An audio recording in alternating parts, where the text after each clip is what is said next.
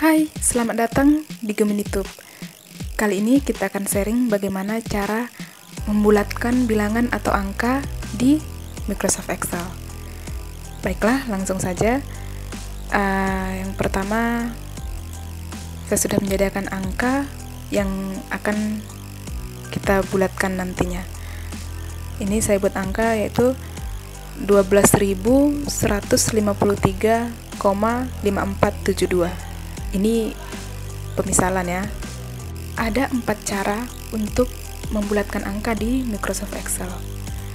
Uh, yang pertama itu dengan fungsi round, yang kedua dengan round down, yang ketiga round up, dan yang terakhir itu selling. Cara kedua yaitu dengan fungsi round down.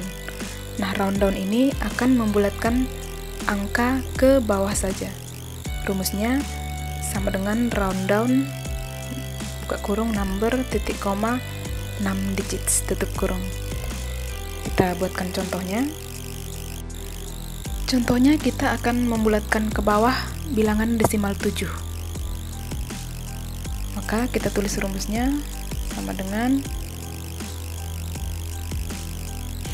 rundown buka kurung angka yang akan kita bulatkan. Kita akan bulatkan angka 7 di depan 7 ada 4 dari koma. Angka 4 adalah bilangan. Angka 4 adalah angka kedua. Maka titik koma 2 tutup kurung. Enter. Nah angka 7 tadi dia akan membulatkan ke bawah jadi angka 7 2 dibulatkan jadi 0 maka hasilnya 12.153,54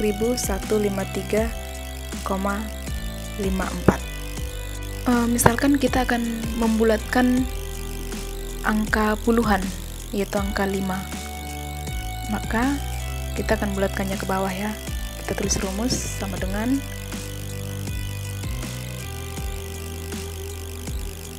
round down buka kurung angka yang akan kita bulatkan titik koma. Nah dari koma dari tanda koma di sini angka 5 adalah angka kedua. Maka kita tulis di sini minus 2